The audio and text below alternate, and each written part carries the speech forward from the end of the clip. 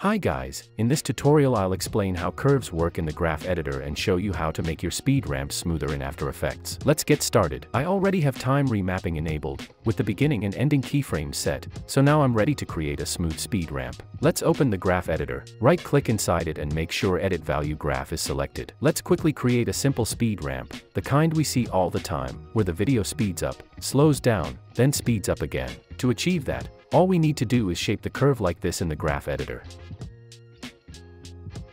Looks so smooth. That's because I found the right balance between smoothness and intensity in the video speed. Let me explain what I mean. If I shorten the ending handle like this, along with the beginning, the ramp becomes too slow, and the result feels off or unnatural.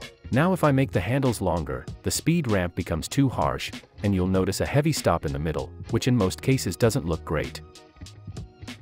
But keep in mind, this also depends on the music and the type of edit you're going for. And that's what I mean by finding the balance between smoothness and intensity. By shaping the curve like this, you get a clean and natural speed ramp. I think you've now got a solid understanding of the basic speed ramp curve, so let's take it a step further. Now we'll create a reverse speed ramp, which will help me explain the curve in even more detail. To create a reverse speed ramp, We'll need a third keyframe positioned in the middle of the clip. You can add this keyframe by clicking directly on the timeline at the desired spot, which will automatically create one. Alternatively here's another method of adding a new keyframe. Select the pen tool and click on the curve in the graph editor to add a new keyframe precisely where you want it. Once the middle keyframe is in place, you can create the reverse ramp by dragging that keyframe upward like this. Then drag the last keyframe downward to complete the speed ramp in reverse. Now let's quickly adjust the curve to achieve the smoothest speed ramp. I'll make random curve adjustments first, then explain how each change affects the animation.